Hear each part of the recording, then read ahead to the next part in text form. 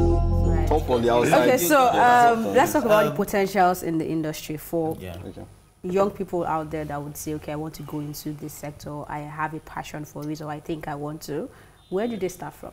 So first of all, let me discourage anybody Wow. that wants to try. I'm, I'm going to be, I'm a very plain person. I like to be direct. So Okay. um, I want to first of all discourage anybody who wants Since to you're start out a discouraging, let me make it clear that you have to answer it one by one. Since it's coming from the discouraging Yes. part, so I'd like to know what you're saying and what you're saying. Maybe okay. encouraging. Mm-hmm. I want to discourage anybody who to wants to, aspire. s- who wants to start out animation based on passion.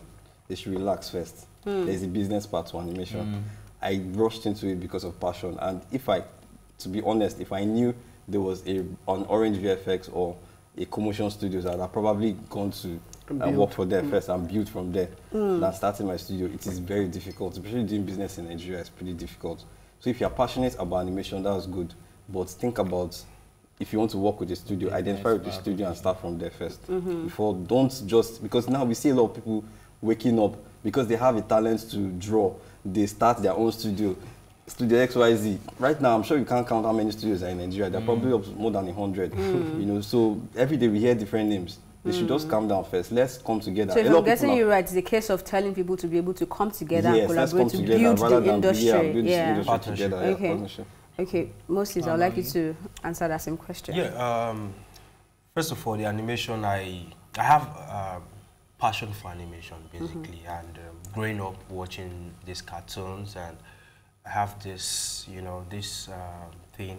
So it's a very good, it's a very good industry, or, um, because it's about creatives. Basically, you have to you have to be creative, you have to be smart, and you have to be complex how you think, basically. Think outside the box, you know. That's how you create something unique, you understand? So, um, the animation industry, I would, I would prefer if we, just like um, my, my guy said here, it's good that you have Passion. passion, but at the mm-hmm. same time, you need to understand that The there's something called business. business. Okay. I'm all about business. Mm. Yeah.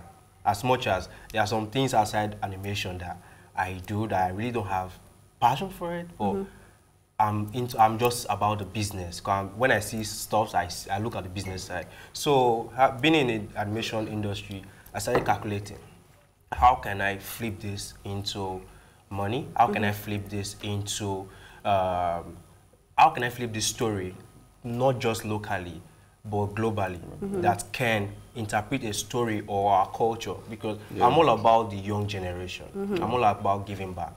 So doing this is, is sort of a way of giving back to the society, of pushing our culture to the, and creating something for our, for our youth, basically. Because it's not just for kids, it's for adults and kids. Like he said, Mm-hmm. is 100% right. Okay. So sometimes we mistake animation for kids. Mm-hmm. You mm-hmm. understand? That's the reason you see, oh, you want to go and watch an animated movie in the cinema. Oh, are you a baby? Mm. No, you don't. You don't. You don't do that. You know. So the animation industry is is big. Huge. Is huge. So it's good that you you have passion. You know how to draw and all that. Fine. You know, growing up, I used to I used to work with, uh, with an artist. You know, I love drawing and all that, but that was not the focus. The focus was, you know, how can I bring things to life? How can I, you know, I've seen what Nollywood they've done. It's fine. Yeah, but we can do better. Okay. Yeah. All right, so, Um, uh, Ferdy. okay. Oh, yeah. Okay, so if you are if you're a young person out there, you want to um, follow through with animation, I think you have a great passion if you're passionate about it, and this sector will grow. So there is an industry that is growing. But like he said, uh, in the early days of our studio, I was very fortunate fortunate enough to have team people who mm. were they had concept for what I call delayed gratification. They were just mm. content. Mm. So we're not making so much money, but we're really concerned about building. So it was painstaking. So if you don't, you need to develop patience. Mm-hmm. Trust me, even the softwares you use, the movie we're working on, it's taking us about 24 months, mm-hmm. frame by frame, right? That's how much you pour into this. So it's, it's, it's sweat, tears, and blood. But for us, the impact and the importance of what we're building to add value is much more than anything else. So my advice to a lot of smaller studios there, we can't make much existing as clusters. Really, at some point, there has to be mergers Yeah. Yeah. and possibly acquisitions for those who can mm-hmm. afford to mm-hmm. do that, mm-hmm. where all the skills have to gather. When you look at a film from Disney. You find 200 credit names Yeah, Yeah. exactly. and that's how much it takes Exactly, to produce a job, yeah. right? So, do we have the capacity? Do we have the number? Do we have the mm. capital? We No. don't have. But in coming together, we have a way to build something, right? Yeah. So we've been having conversations with a few of the studios, like, guys, how do we work together, mm. right? If we have this project and we believe in this project, I don't mind my studio coming to see how we can support. Mm. Let's get the first film out. Where we are right now, the music industry was some years back. But when people started to break into Phase the band and it took it global, it opened the way for every other person. Mm-hmm. So all we need is one or two other um, people to come into that space to do it. So look for a studio, intern, work with, build. And black men, please put egos aside. Yeah. Mm. We are so attached to egos, and let's not get distracted by that. What mm. you're building, you rather be successful in holding 4 5% of a successful company than keeping 90% of a field studio. And let's not even think about it for a second.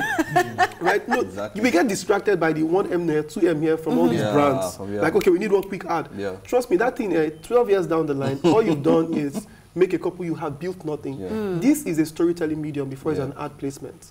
Yeah. Right, so Thank even while we are yeah. trying to meet the, the bill, because that honestly, some of those clients they will go round and round and round and drain your energy, right? So you just have to find a way to balance because in, in the balance.